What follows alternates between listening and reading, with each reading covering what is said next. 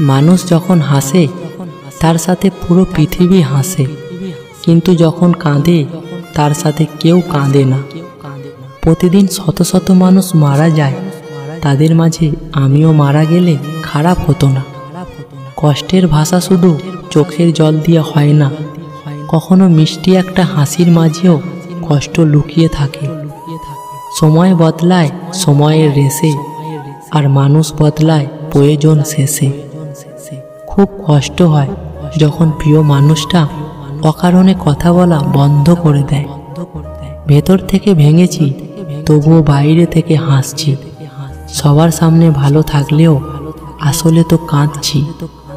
আমিও মুখের ওপর জবাব দিতে পারি, কিন্তু আমার মন বলে, না থাক, ওর খারাপ লাগবে। কষ্ট সহ্য করার অভ্যাস আছে, কিন্তু কাউকে কষ্ট দেওয়ার অভ্যাস নেই। হ্যাঁ এটাই আমি হ্যাঁ এটাই আমি